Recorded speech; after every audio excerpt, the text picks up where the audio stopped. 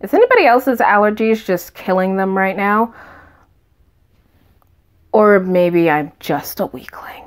What's up, nerds? Drea here. It's time for a better late than never edition of my monthly favorites, obsessions, whatever. I'm not gonna waste any time telling you guys exactly where I've been. Let's just jump right into it. We'll start with the YouTuber that I've been binge watching this month. Of course, I started watching her on Facebook Watch, but eventually I subscribed to her YouTube channel. Charlotte Dobre has technically been on YouTube since 2012. She was part of Inform Overload and is also a singer, though I haven't heard anything from her yet. Nope, I know her for her reaction videos, which she has only been doing for about a year. I just love the chaotic energy she brings to it. Also, I just love a good reaction video. Check her out if you get a chance. She will be linked in the description box below. Moving right along, I am a couple episodes behind on Attack on Titan. And that's because I am sick of it. That's right, I am sick to death of Attack on Titan and their need to stretch out this stupid, convoluted political mess of a story. Yes, this season was way better than last, which leads me to another complaint. Hasn't 12 episodes been a season for a while? Why is it the final season part 1, 2, and now 3 in 2023? If you're not gonna just end, at least be honest about it. I'm still planning on watching it, but I want something else. I'm tired of this, Grandpa. That's too damn bad! I can only handle like one shonen series at a time. All I know is part three better actually be the final season. Or I will riot. Moving on to better things. Yashahime is still a dumpster fire, but a relatively small one. Like, there are elements of a good story here, they just get lost in the let's check in on what the characters from the original series are doing. If this story had been able to be carried by the Yashahime, then I think it might have turned out better. As it is, they often feel like side characters in their own anime. It's kind of just disappointing, but I guess I'll keep watching. Now, moving on to the good stuff. This next series has been an absolute blast to watch. Tokyo 24th Ward is an original series produced by Cloverworks, who have been hitting it out of the park with a ton of series lately. Oh, that? That that didn't happen. It doesn't exist.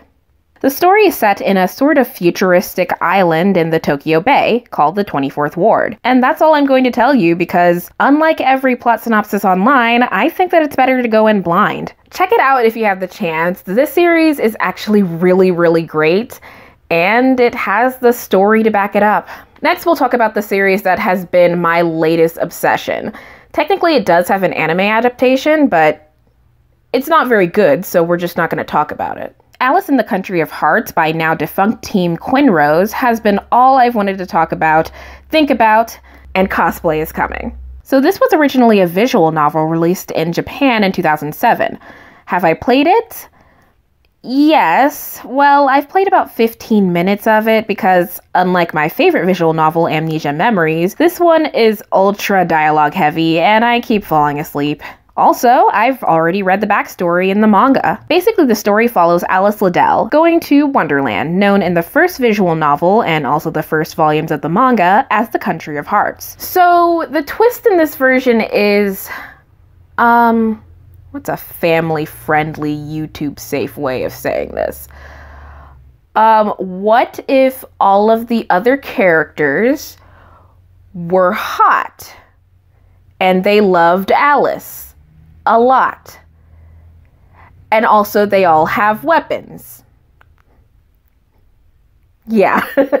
yeah, it's a little predictably otome, but I love this series. All the characters are well defined and beautifully over designed. The ships not only explore the suitor, but also different aspects of Alice's character, and I just love a good harem.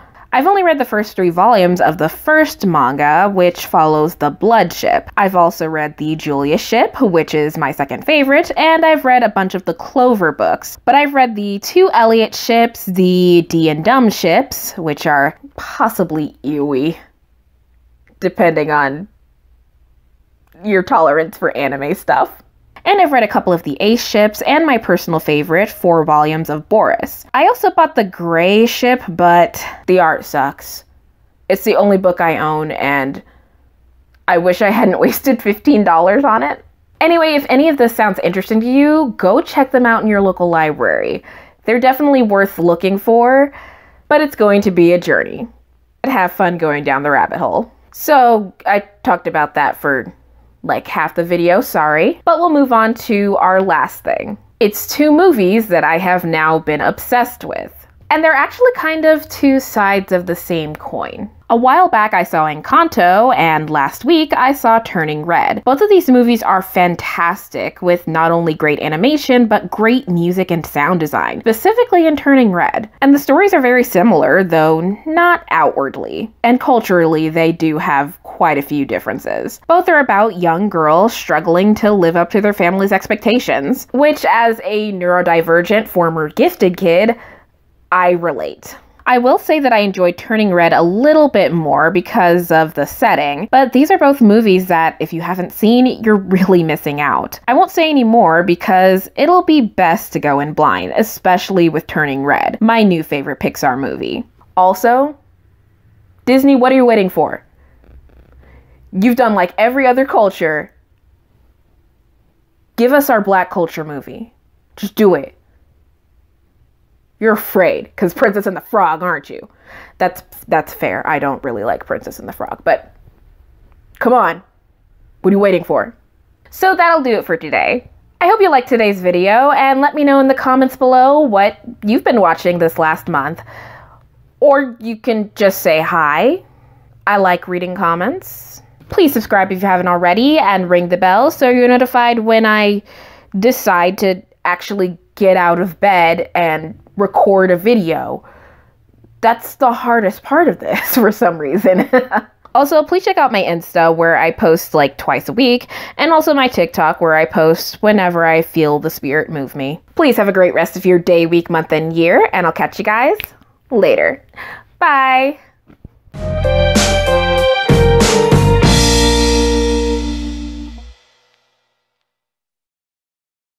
This hairstyle was a mistake for this video. I was moving my hair out of my face the entire time. I'm gonna go drink some tea and go to bed. No, I'm not gonna go to bed. It's like six o'clock in the evening.